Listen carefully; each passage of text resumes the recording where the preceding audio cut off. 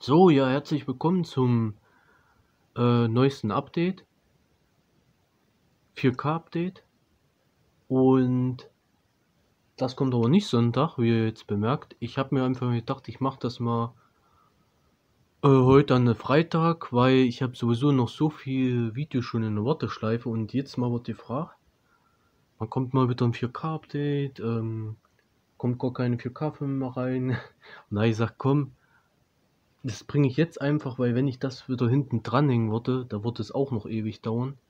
Da ich gesagt, dann mache ich das jetzt äh, einfach so zwischen, zwischendurch. Ist jetzt, ja, ich sag mal ja. Ihr seht, ist schon, ist eine gute Menge, sag ich mal. Man muss auch bedenken, das ist fürs ganze Jahr. Also ich hatte wirklich jetzt alle Filme, die ich dieses Jahr gekauft habe, auch wenn ich mal einen schon in einer anderen Update hatte. Das kommt dann wahrscheinlich erst später. Außer jetzt Greenland, glaube und Hellboy, die waren schon Update, aber alles die 4K-Filme, die ich mir dieses Jahr geholt habe, äh, dieses Jahr halt, 2021, alle Filme, die kommen jetzt hier rein und das ist wenig. Sonst habe ich sowas in einem Monat oder zwei, drei. Weil es kam einfach nicht viel Neuheiten, das wisst ihr. Und da kann man auch nicht viel holen. Ältere, ja, sind ein paar ältere dabei, aber ich wollte jetzt nicht jeden alten. Ich habe ja dieses Jahr viel, ähm, wie soll ich sagen, auf Out-of-Print-Filme gesetzt und auch viel auf Blu-rays. Kann sich aber wie gesagt immer ändern und ja, deswegen wollte ich euch heute einfach mal das 4K-Update zeigen. Ist ein bisschen, deswegen nehmt euch Zeit und guckt das Video. Ja. So, ich habe die Filme jetzt beiseite geschoben und dann wollte ich sagen, wir fangen an mit wahrscheinlich den größten Film. Gut, man muss auch bedenken, äh, jetzt ist hier nur ein Import. Ich hätte gerne Godzilla vs. Kong mit reingenommen. Den Film. Ich habe mir auch rechtzeitig bestellt bei Zavi. Ich habe bis heute immer noch nicht bekommen. Ähm, da ist jetzt schon ungefähr 14 Tage unterwegs und echt scheiße. Also ich hätte ihn gern mit reingenommen. Ja, ich mache sowieso ein Einzelvideo, was da kommt, werdet ihr sehen. Aber ich, ich warte hier schon seit Wochen, 14 Tagen, um genau zu sein, aber es kommt einfach nicht. Ja, ich habe es halt normal versendet. Ich hätte mit Sendungsverfolgung machen müssen, aber ich habe bei Zavi halt noch nie was bestellt. Hoffentlich ist er nicht weg. Ich bin mal gespannt. Vielleicht liegt auch beim Zoll. Ich kenne mich da auch nicht so aus äh, mit dem Zoll und so, ob das dann 14 Tage liegt oder eine Woche, dass das deswegen so spät kommt. Mal gucken. Andere Kollege hat den am selben Tag verschickt bekommen, der hat den auch noch nicht. Äh, ja, mal gucken. Wird ja sehen, ich werde gleich das Video, Einzelvideo machen, wenn ich ihn habe. Ja, beginnen wir jetzt hier mit Justice League. Äh, das ist ja in Deutschland auch rausgekommen. Also ich habe ja noch ein paar Importe, das ist aber Tom und Jerry, äh, Little Things, aber die sind halt normale Blu-rays. Die gibt es halt nicht in 4K, wird es die in 4K geben, hätte ich die wahrscheinlich auch in 4K geholt. Und ja, ich habe ihn wie gesagt immer noch nicht gesehen. Geht auch stolze 4 Stunden. Also man muss sogar die Disk wechseln, auch die 4K. Also was Wahnsinn ist. Also hier zwei Disk, jeweils die 4K und die Blu-ray. Also man muss die beide wechseln. Ich habe ihn immer noch nicht gesehen. Ich habe ja wie gesagt keinen Sky. Ich konnte nicht gucken. Ähm, Brauche ich auch nicht. Ich habe jetzt gewartet. Also für mich ist das nicht schlimm. Ich warte auch gerne. Bin echt gespannt. Also ich bin auch einer, der den die Kinofassung gar nicht so scheiße fand. Also weiß auch nicht, was alle bei denen hatten. Aber ja, Justice League einmal. Das ist die erste 4K. Dann Mediabook. Haben wir endlich mal wieder ein Mediabook gegönnt. Ein Unboxing werde ich auch nicht machen, weil das haben schon so viele gemacht. Ich wollte mir eigentlich nur die Emaway holen.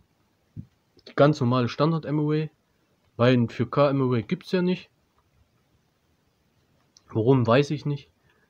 Kochfilms, da ist immer so ein Ding. Kommt eine Emaway noch? Hm. Weil hier ist auch die äh, Ultra HD Blu-ray, also die 4K. Hier ist die Blu-ray 3D Blu-ray. Wer hat noch ein 3D-Gerät? Ich kenne keinen. Ultra D Blu-ray. Klar, es gibt noch ein paar, aber ja. Ähm, der Film kam ja bei uns gar nicht im Kino. Ich, der ist auch schon eine Weile draußen. Er hat davor Dings gedreht. Wie heißt er? Ja, jetzt komme ich nicht auf den Namen. Vor Terminator Dark Fate und Killing Gunther. Der kam ja bei uns auch erst so spät.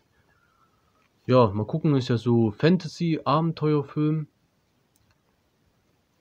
Auch ein richtig dicker Klopper. Iron Mask. So, dann hätten wir als nächstes. Äh, das ist zum Beispiel mal ein älterer, den ich mir im 4K geholt habe, weil einen Top-Preis hatte. Auch hier Watch 4K UAD Movies und PS5. Ähm, ja, Nochmal schön Werbung machen von, weil er von Sony ist. Äh, nee, hier oben. Ist ja von Sony der Film. Kann man nochmal ein bisschen Werbung, Werbung machen. Vorher war es ja immer PS3. War auf die Blu-ray. Watch on PS3 stand halt drauf. Und jetzt gibt halt auf der PS5 ist ja auch 4K. Jetzt kann man endlich gucken. Ich hatte ja vorher immer die Series X. Nee, nicht Series X, Xbox One X hatte ich. Und immer noch. Ja, Film kenne ich auch noch gar nicht. Und da ich dachte, mache ich eine Erstsichtung auf 4K. Dann einen Film wollte ich mir bestellen. Ich hatte den sogar im Januar, da hatte ich, oder ich hatte vorher mal von denen auch geredet, dass ich mich auf den freue. Das war wie New Mutants. Ich habe ihn nicht gekauft. Ich weiß nicht warum. So Januar, da hatte ich ganz wenig eigentlich nur. An Film gekauft, da musste ich sogar einen Sonntag, glaube ich, gar kein Video machen. Äh, hier der Outpost, ich glaube hier ist nur die 4K drin von Eurovideo. Da kam ja die Blu-ray und glaube April kam der raus. In April kam der raus auf 4K. Hatte ich mir gleich bestellt. Ähm, ich glaube hier ist nur die 4K. Ich weiß nicht. Hier steht halt Ultra D Premium Blu-ray. Ja, also der Film soll ja echt gut sein. Hier spielt ja mit äh, Scott East Eastwood, ist der Sohn von Clint Eastwood und Orlando Bloom. Da soll aber nur ganz wenig mitspielen. Ja, die 4K habe ich eigentlich auch noch nirgendwo gesehen, die einer vorgestellt hat. Ja, mal gucken. Kam letztes Jahr sogar im Kino, ganz kurz, bei uns nur eine Woche. Machen wir weiter mit zwei 4K-Filmen. Einer, der kam sogar im Mediabook erst. Im Februar auch, der letztes Jahr noch im Kino lief. The Mortuary. The Mortuary oder The Mortuary. Ich glaube The Mortuary. Jeder Tod hat seine Geschichte, ist ein Episodenfilm, Episoden-Horrorfilm. Ich glaube mit sechs oder acht Episodengeschichten. Mal gucken. Manche sollen gut sein, manche nicht. Ähm, ja, kam jetzt hier als Emery raus, hat mir gereicht. Ich brauche jetzt kein Mediabook. Ich meine, kostet hier 13 Euro weniger oder 14 Euro weniger als das Mediabook reicht mir. Hier ist auch nur die 4K. Das macht ja Cape halt immer. Dafür machen die einen Top-Preis. Äh, The Mortuary Mort Mortuary oder Mortuary, dann auch von Cape Light gekommen. Hebt's aber auch keine 4K, äh, kein Mediabook, meine ich. Hier gab es kein Mediabook, hier kam gleich ein 4K. Ja, spielt immer, aber hier sieht man 4K Ultra D. Ist ja auch hier HDR. The Big Ugly mit äh, Vinnie Jones und Ron Perlman, was ich vorher auch nicht wusste, habe ich jetzt hier von öfteren schon gehört, Vinnie Jones, dass er Fußball, also Fußballspieler war aus England. Ey, ich, ich wusste das gar nicht. Habe ich nie gehört. Also nie gewusst vor. Ich wusste nur hier, Todeskandidaten hat er gemacht. Irgendwie, ja, da war böse. Irgendwie hatte der was. Ich finde den geil. Also so als Bösewicht. Ist er jetzt schon in die Jahre gekommen, ist klar, ist er alt. Aber der Film soll echt gut sein. The Big Ugly. Ja, hat ja auch Cinemanuel vorgestellt und eine Review gemacht. Wer da ein bisschen mehr wissen will. Ähm, dann auch noch einen neuen Film, den hatte ich sogar schon in einem anderen Update. Das kommt wahrscheinlich noch. Aber ich habe jetzt reingenommen, weil ich alle 4K-Filme zeigen wollte, die ich dieses Jahr gekauft habe. Also jetzt haben wir fast ein halbes Jahr rum. Halbzeit quasi. Und ja, ist halt wenig. Aber es geht wieder los. Kinos öffnen, Filme kommen. Geil. Also jetzt geht's ja, ich glaube, im Juli geht's schon los. Da kommt schon gleich, kommt gleich im, glaube Mitte Juli, 22, ich weiß nicht ganz genau, da kommt auf jeden Fall Wrong Turn, der kommt nicht in 4K, aber Mortal Kombat, da freue ich mich auch schon, da haben wir auch schon eigentlich fast alle geguckt, aber ja. Ja, dann so ab Oktober kommt ja Quiet Place, die Croods, da kommt glaube erst November. Aber jetzt geht es endlich wieder los. Da freue ich mich auf jeden Fall, dass dann wieder ein paar Filme kommen. Ich denke mal so dann Oktober, November, Dezember, also Oktober glaube nur ein, zwei, kommt ja noch der mit Tom Holland, Chaos Walking. Ich denke mal A Quiet Place vielleicht auch oder wenn nicht November. Ja. Aber so Ende Oktober, Anfang November bis und dann Dezember, dann kommen endlich wieder große Filme. Ja, jetzt mal hier SAS, Red Notice. Ja, zum Film. Es soll so ähnlich wie Stopp langsam bloß in der Tunnel halt sein. Mal gucken. Mit hier auch Andy Circus, auch richtig geiler Schauspieler. Der bei Black Panther da zu früh. Naja, ich will nicht so viel verraten. Ja, was soll ich hier noch sagen? Wonder Woman. Der Film ist ja schon seit März draußen. Wann kommt er bei uns? Im September? Der läuft ja gerade im Kino bei uns. Endlich kann Warner den im Kino bringen. Dann können sie endlich auf Blu-ray bringen. Die warten ja immer noch. Kann man als Premium VOD leihen, kaufen. Interessiert mich nicht der Film. Also, was heißt interessiert mich nicht? Ich habe mir jetzt, aber, ach Mann. Ich habe mich echt geärgert, weil der Film ist echt nicht gut. Also der erste Teil war für mich einer der besten DC-Filme. Also der zweite ist ein geiles Cover, alles. Aber irgendwie hat bei mir nicht gezündet. Wie gesagt, das ist die italienische, die hat ja deutschen Ton. Bei uns kommt erst ein Dreivierteljahr fast später, aber ja. Ich habe auch nicht den vollen Preis wieder. Bei uns kostet hier 36,99. Die spinnen doch bei Amazon. Für eine normale 4K. Ähm, den, jetzt kommen auch ein paar Filme schon, die ich gesehen habe. Da kann ich auch was zu sagen. Wer den noch nicht gesehen hat, Follow Me. Ein echter Geheimtipp. Also was war ich da überrascht? Wirklich, das war ein richtig geiler Film. Geht hier um eine Gruppe, um hier einen YouTuber sozusagen. Also es ist kein billig Horrorfilm oder so ein Trash oder sonst was. Wie gesagt, die fahren hier nach, ich weiß gar nicht mehr nach wo, Moskau, Moskau fahren die, lädt die ein hier und der eine hat einen Kumpel, der lädt die ein dazu so ein äh, Lost Place, nicht Lost Place, ähm,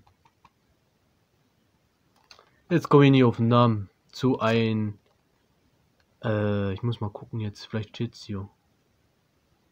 Escape Room, so jetzt bin ich hier drauf gekommen, Escape Room, Moskauer Art und ja, bis sie dann wirken, es ist kein Spaß und kein Spiel mehr, es ist Realität. Er fängt an, finden halt noch alle lustig, bis dann irgendwann einer abgemurkst wird und dann ist natürlich nicht mehr lustig und wirklich echt geil. Also, wow, ich war echt überrascht, weil viele sagen, ja, nur 815 fand ich gar nicht. War echt eine Überraschung. Ich habe den erst im Januar bekommen und habe ihn dann ein bisschen später geguckt. Und klasse Film. Lief ja auch damals kurze Zeit im Kino.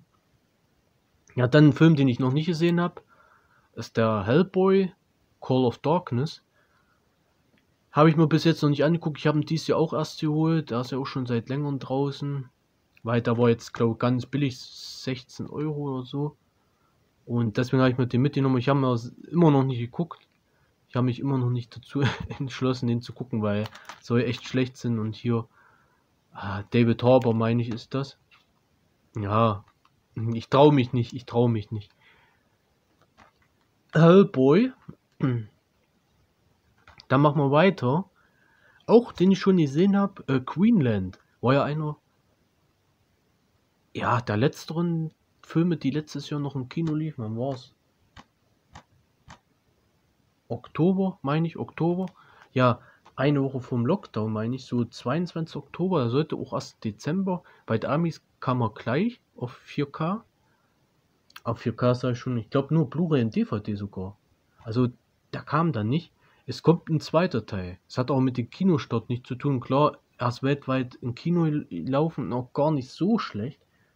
Ich weiß jetzt nicht, wie viel er gekostet hat. Irgendwas bei 50 Millionen hat er auch nur eingespielt. Also er hat nicht viel Gewinn gemacht, wenn. Jedoch der VOD-Start überall hat echt gut Kasse gemacht. Deswegen haben sie entschlossen, einen zweiten Teil, dass ein zweiter Teil kommt. Hat auch, sag ich mal, na gut, ein offenes Ende. Nicht wirklich. Na gut, wie es weitergeht, könnte man schon erzählen. Wer hier einen Katastrophenfilm wie 2012 erwartet, der wird auf jeden Fall enttäuscht. Der Film hat auch gute Effekte, muss ich sagen. Ist jetzt, man merkt, hier sind keine 200 Millionen Dollar eingeflossen. Hat aber gute Effekte. Es geht halt um Jared Butlers Familie, die nach Grönland halt will. Das ist halt die Story. Äh, man begleitet halt die die ganze Zeit und ja auch auf dem Flughafen und so. Könnte schon ein bisschen zu der jetzigen Zeit passen, so. Oder damals, wo mit dem Klopapier war. wo es sich drum gedroschen haben und in Ebay und ah, war schon lustig. Ja, dann habe ich noch vier Filme, eine Reihe, die Jack Ryan-Reihe, äh, die ich von Andreas bekommen habe. Das Video müsste auch schon online sein.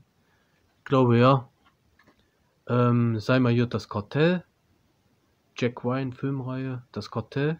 Harrison Ford.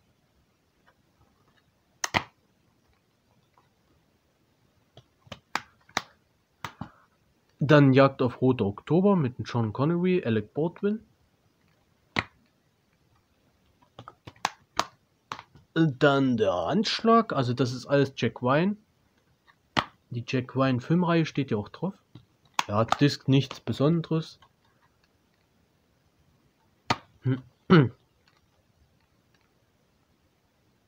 Patriot Games, auch immer die Originaltitel, also hier steht ja Jack Wine Filmreihe. Sind halt die vier Filme. Und den anderen habe ich sogar schon, ja, ich jetzt nicht bei Hand. Also Jack Ryan Shadow Recruit, das ist ja der mit Chris Pine, genau. Ja, das war's Update. Das war's 4K-Update. Ja, es war nicht viel, aber besser als nichts, würde ich sagen. Ähm, wie gesagt, die Jack Ryan-Filme. Wir hatten Greenland, wir hatten Hellboy, wir hatten Follow Me, Wonder Woman 84, SAS, The Big Ugly, wie gesagt, auch keine Monsterfilme, keine großen Blockbuster. Mortuary, Outpost, In the Line of Fire,